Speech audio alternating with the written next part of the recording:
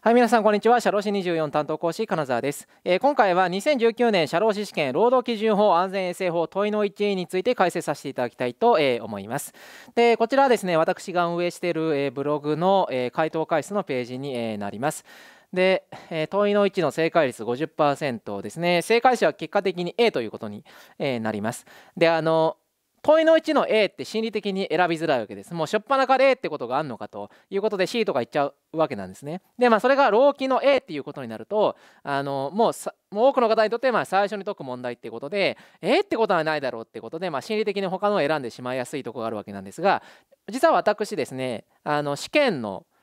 前に事前に今年の老期安永の問い1は A ですよっていうですねツイートでま予告をしておりましてでなんでそう思ったかっていう根拠なんですけども過去6年間ですねこんな風に来ていたんですね AAB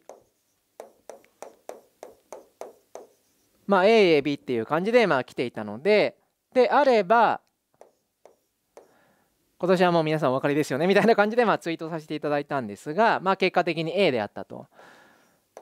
でまあそのツイートを見ていただいた方がですねあのまあ問いの1の A なんかちょっと由来だけれども、まあ、ツイートで A もありえるとあったんで、まあ、それで安心して A 選べましたとか、まあ、あるいはその A だったんで震えたとかですね。であるいは、えー、その問題文見る全然時間なかったんでもうもう A やで A を選んだら正解だったんでよかったですみたいな感じで、えー、そんなツイートを見てちょっと嬉しかったわけなんですけどもじゃあ来年どうなんだと。来年この法則でいくと A なのかというとまあそれは分からないっていうですね、まあ、そういう結論になるわけです。あの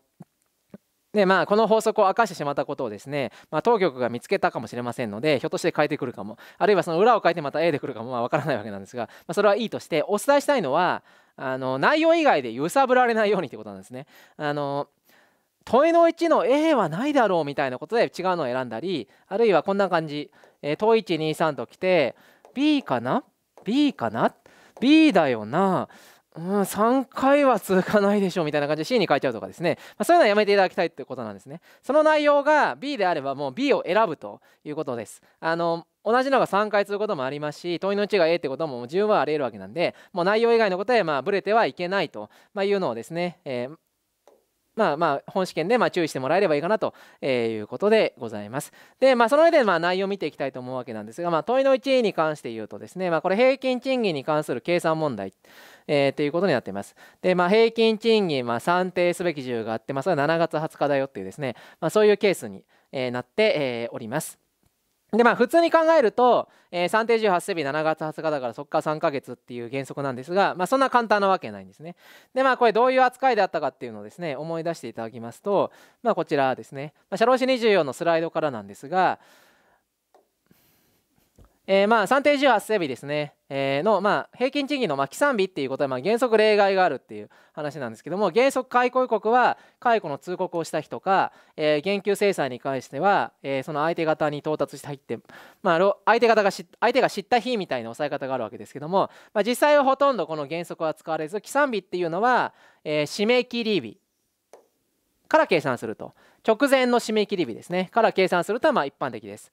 えー、直前の締め切り日ですね。例えばこの事例に書いてますけども、えー、算定18整備が20日だよというケースでで直前に締め切り日から締め切り日が15日、えー、あるっていうケースですね。でこの場合普通に原則通り20日から3ヶ月で計算するとですねあのその会社の賃金計算期間の、えー、途中で、えー、その切りが来てしまってその部分をこれ日割り計算しなきゃいけないということは、まあ、非常に面倒くさいというところがあるわけです。でまあそこで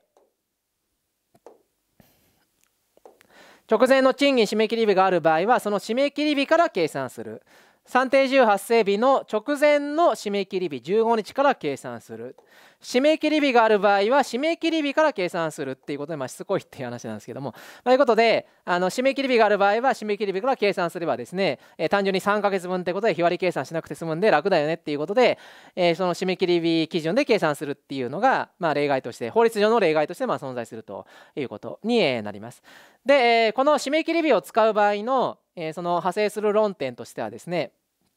この賃金ごとに締め切り日が違う。例えば基本給とか残業手当で締め切り日が違うって一般的にあるわけですけども、まあ、そういう場合はその賃金ごとの締め切り日で計算するという取り扱いがあります。でこれまあ過去問で出された論点でで今回の問題はまあこの部分聞かれてるっていうことですね、まあ、締め切り日で計算するっていう話とあとは賃金ごとに違う場合はその賃金ごとで計算するという部分ですね、まあ、そこは問われてる部分だということになります、まあ、それで問題文ですね、えー、戻って見ていくとえー、まあ、どういうケースであったか、えー、こちらですね、えー、条件ということで書いて、えおります。でまあ条件見ていきますとえこの締め切り日がまさに違うケース。この基本給と職務基本給通勤手当職務手当ですね、え基本給と通勤手当職務手当は25日。で時間外手当は15日ってことで、えー、まさにごとに、えー、決まってるという場合は、えー、そのごとの締め切り日で計算するということになります。で見ていきますと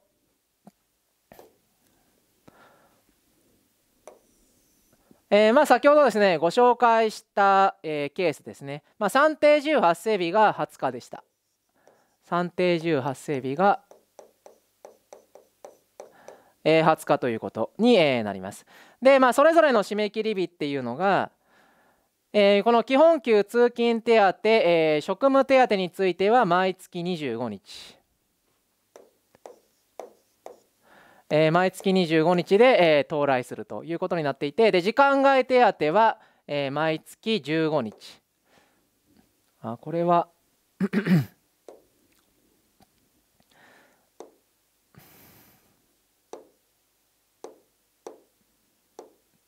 どうせだから色変えましょうか。ちょっと色変えてみましょう。えっ、とペンで太さ。じゃあ緑にしましょうかね。で緑でこれが15日。えー、っていうことで、えー、書いています。でまあこの場合ですねこの算定10発生日ですね、えー、算定10発生日の直前の締め切り日から、えー、計算すると、えー、いうことに、えー、なりますので、えー、まずこの時間外手当に関してはその15日から3ヶ月。で、計算する。これは時間外ですね。これが時間外ということに、なります。一方で基本給職務手当と、まあ、通勤手当は25日っていうことなので、えー、このまあ7月20日ですかその7月20日の前ですかね直前ですから、えー、6月の25日、えー、この6月の25日のところから起算して、えー、3ヶ月間で、えー、計算する。まあ、これは基本給通勤手当、まあ、職務手当の A グループっていうことになります。で、まあ、見ていきますとこの A っていうのはまあその通りになってるわけですね。この3月26日から6月25日までは基本給と通勤手当、まあ、職務手当ですねの総額で計算するよと。で一方で一方で時間外手当に関しては4月の16から7月の15ですね。えーまあ、7月の15日。7月15、えー、7月の15日からまあ計算するっていうことで、まあ、この部分も合ってるということで、まあ、A が正しいっていうですね、まあ、そういう問題だったということに、えー、なります。で、まあ、ちなみに他の問題見ていきますと、えー、B に関して言うと、えー、これ4月5月6月の賃金総額をえー、その計算間の歴日数92で助成、まあ、まとめて計算するみたいな言い方になってるんで、まあ、それが誤りですね。で、まあ、C に、えー、関して、えー、言うと、えー、こちらは、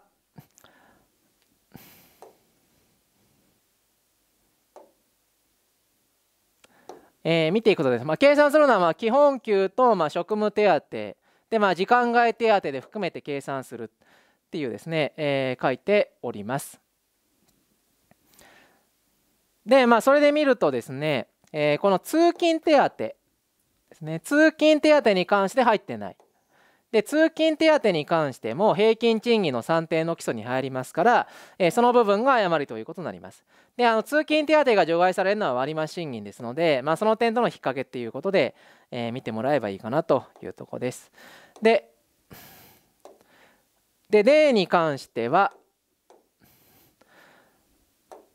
まあこれもあの通勤手当除いちゃってるんで、まあ、その部分が誤りですね。えー、通勤手当除いてるし、まあ、それ以外にもいろいろ誤りがあって、まあ、それで×ということになります。D に関して、まあ、時間外手当除いて、まあ、これもまあその部分が、もうそれだけで×なんで、で、他もいろいろ間違ってますけども、まあ、その部分も誤りということになります。で、まあ、結果的に A が正解ということですね。で、見ておいてください。えー、以上がですね、えー、2019年の労働基準法安全衛生法の問いの1の、えー、解説ということに、えー、なります、えー、最後までご覧いただき誠にありがとうございました、えー、チャンネル登録ぜひよろしくお願いいたしますこの辺にあるかと、えー、思いますのでえっ、ー、とちょっとあのブラウザによって出ないのかもしれないですね。あの別にあの心が綺麗な方しか見れないわけではないと思いますので、ちょっとこちらでも設定 ちょっと見てみたいと思いますので、まあ、もし、えーえー、なければないで、えー、また別の機会で、であったらあったらでよろしくお願いします。え、以上、え、ありがとうございました。